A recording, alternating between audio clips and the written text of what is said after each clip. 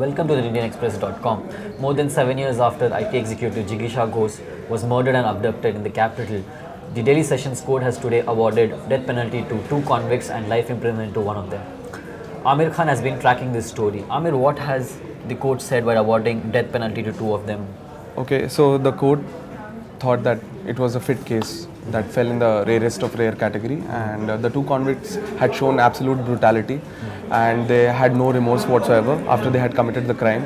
They went on to uh, rob her after abducting her, and eventually they bought, went to a store, they bought articles from the money, from the they even used the ATM debit card, and uh, she was alive when they did that. But later on, uh, to remove any sort of hindrance from the crime they had committed, they killed her.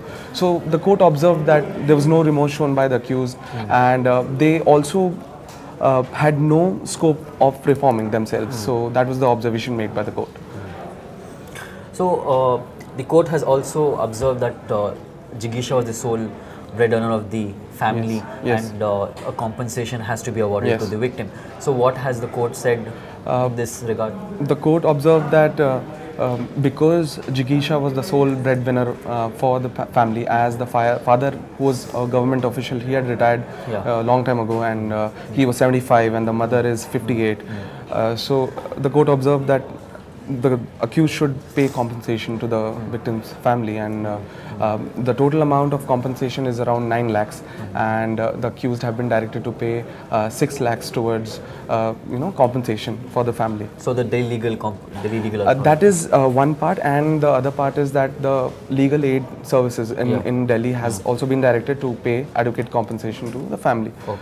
Yes. And, and uh, what is the uh, legal remedy for the defense right now? In any case, uh, you know, we see that when a trial court convicts and um, subsequently sentences accused uh, to any any punishment, uh, you know, for example, death penalty in this case and life imprisonment.